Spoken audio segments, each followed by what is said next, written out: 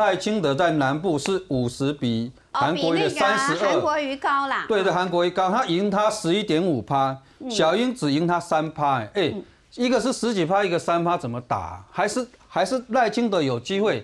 但是如果但是选中机会那么高，他在中中在在北部地区，我跟你讲，年轻人不是民进党会大赢总统大选，都是靠南部大赢才有可能的。你大南部如果没有，你都不会赢。可是这韩国瑜赢了十五万票呢，现在已经翻转了嘛？你没有看到那个美丽岛电子报？可是这个这个民调也很奇怪，他快五成哎，这个赢了韩国瑜大概明显赖清德在南部的优势是非常明显的。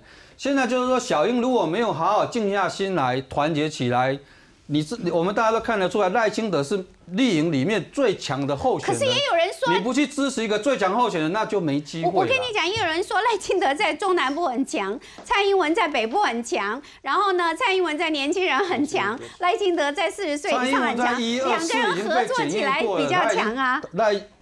蔡英文在一二是被检验过，拉不起来，不可能的啦。所以你的在民间的感觉，没有不可能。初选上面，那赖清德会达到底吧？小英不可能的嘛，所以只有赖清德有机会。民调上面的，因为民调有一个很重要的关键是要你要看趋势。那也就是说，从一一二四民进党大败之后，蔡英文的民调有没有缓步上升？就就趋势来看，它的确是在逆势往上慢慢的加回来。那如果说我们只看南部。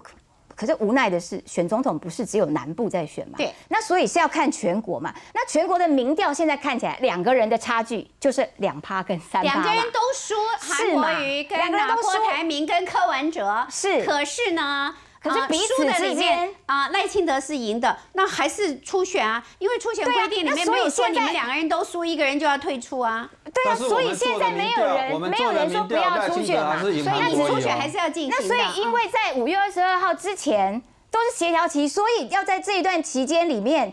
按照你们规定的步骤去进行啊啊！这件事情我不知道有什么样的疑问还要协调什么嘛？人家就不要跟你配了，为什么还叫人家配呢？那是协调小组的工作呀，没有配了啦。其实基本上现在就是大家如何协调吧，没有配了协调这个民调的这个方法，对不对？那对于赖清德比较有利的，其实是互比式哎，这个人均按照他们党章的规定，其实就是互比耶。